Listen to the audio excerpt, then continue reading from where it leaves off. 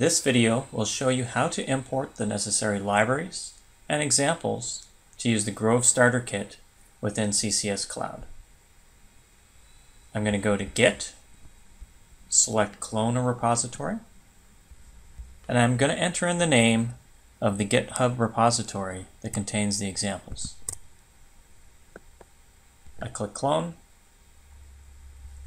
Now we see this folder, Launchpad Kit, within our workspace. Now I'm able to go to Project, import Energia Sketch, and I can click on the button over here that says Workspace. This is going to look within my Workspace folder for examples. I now see the folder here. Um, let's play with the buzzer. So I'll select the buzzer. I select the launchpad that I'm using.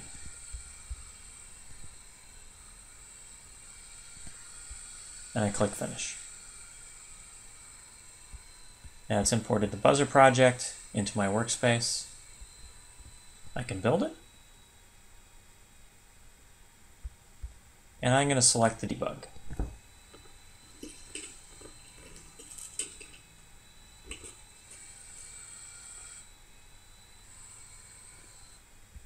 Now, you can see here the code has been loaded. It's run into the setup routine because this is an Energia example. So you always have a setup and a loop.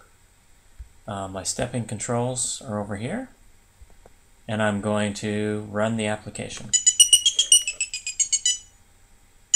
You can hear the buzzer.